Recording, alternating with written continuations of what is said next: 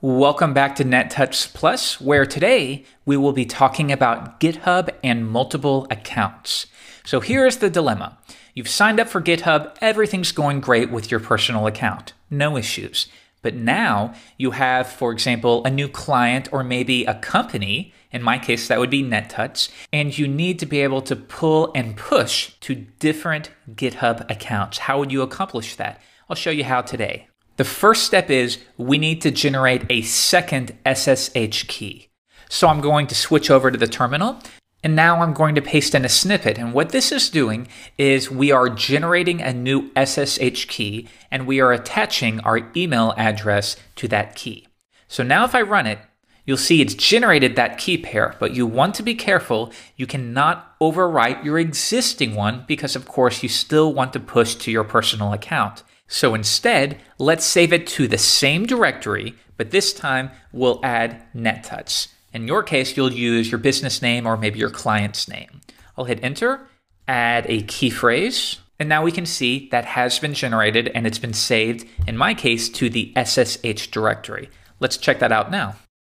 If I list the files, you can see we have my original one and now we have the new NetTuts one. So the next step is to log into your second account here's my first personal account, but now I want to be able to work with NetTuts. So I'm going to go to Account Settings, SSH Public Keys, and we're going to add another public key to my NetTuts account.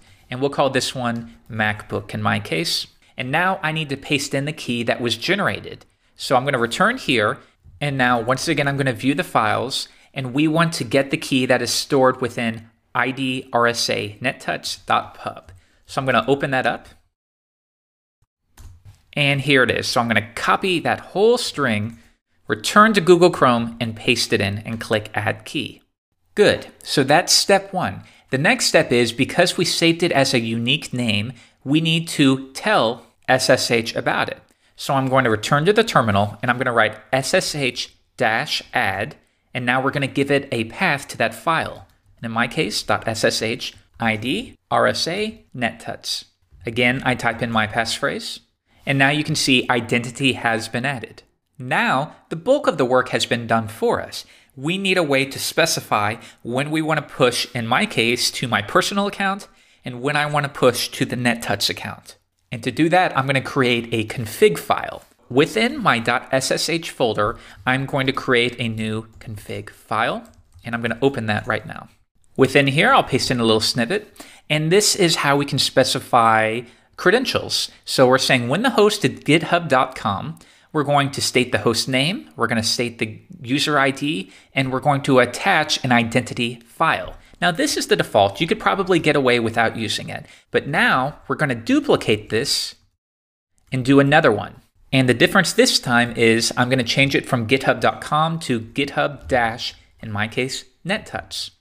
Now, the host name is going to stay the same, the user is the same, the identity file this time we'll need to point to that NetTuts key that we created. And that should do it. So I will save and close this out. I'm going to restart iTerm just to make sure everything has taken effect. And now we can experiment. So I'm going to browse to my desktop and I'm going to create a directory called test, cd into it, touch a readme file, and within it we'll just write hello there. And now we're going to try to push it to my NetTuts, my company account. So let's try Git out now. I'm going to create a new Git repository and I'm going to add everything to the staging area and commit with a message of first commit. And now within my NetTuts account, I'm going to go to the dashboard, click new repository, testing, create repository.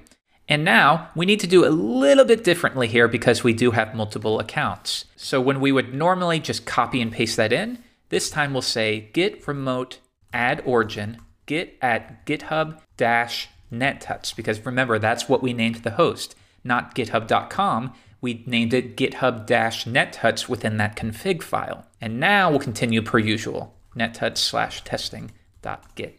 All right so let's try this git push origin master and if we did everything right, these files should be pushed not to my personal account, but to my NetTuts account. So I'll click continue, and there you are. The last step is to make sure we can still push normally to our personal account. So this time I'm going to remove that entire Git repository and now we'll get started again. I'm going to initialize Git.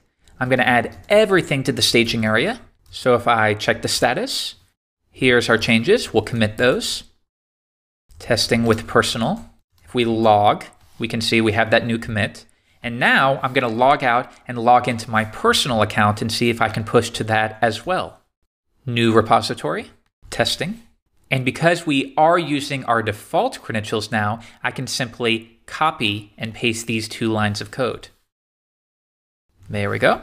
Click continue. And it works. So by adding an extra SSH key, attaching it to our new GitHub account, and creating a config file where we can specify whether we want to push or pull to our default account or to a client or company account, like NetTuts. All right, that's going to do it for today. If you have any questions or run into any issues, just leave a comment on this article's page and we'll do our best to help you. For more tips, tutorials, screencasts, whatever, always stay subscribed to NetTuts. I'll see you later. Bye.